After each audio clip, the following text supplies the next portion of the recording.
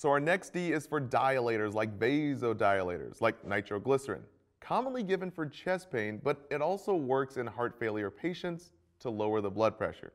So remember the O's here. Think diolators like nitro. They open up the blood vessels to decrease the blood pressure by dilating the vessels and decreasing resistance.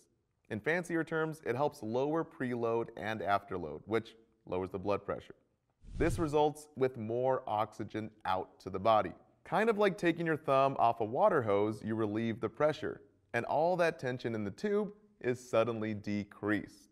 In the same way, wider dilated blood vessels means less constriction and less pressure, or low blood pressure. Now again, our famous vasodilator is nitroglycerin. So think nitro makes the blood pressure low, or gives O2 to the heart muscle. Or just think nitro is like a pillow for the heart, rested and relaxed, decreased blood pressure.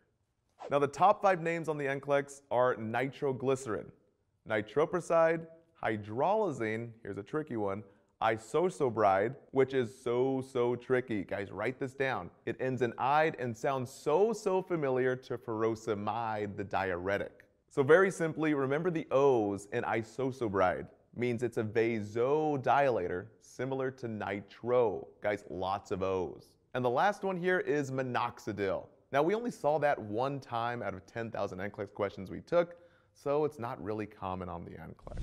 Now the killer precautions, the number one thing that shows up on the NCLEX and nursing tests is no Viagra. Drugs ending in afil, like sildenafil. Guys, it will kill. We're talking extremely low blood pressure.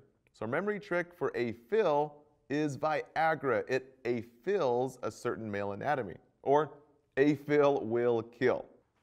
And speaking of low blood pressure, our two key numbers here. We stop nitro if the systolic blood pressure, the number on top, is below 90 or 100, or if we see drops by 30 points or more.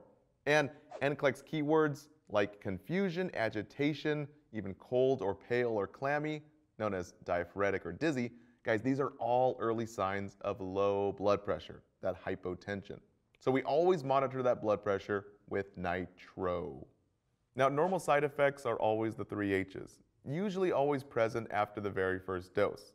So headaches or hypotension, also called our orthostatic hypotension, and hot flushing or facial redness. Now, this is not an allergic reaction. These are common and normal. So teach patients slow position changes to avoid that dizziness and falling. Again, called that orthostatic hypotension. And always check the BP before giving this drug. Now for the top seven NCLEX tips on nitro. We're talking patch versus pill for angina patients. Guys, we cover that in our angina chest pain videos. So if you're watching that here on the membership site, you can find it under angina in the MI section. Thanks to our team of experts helping us make these great videos. All right, guys, see you next time.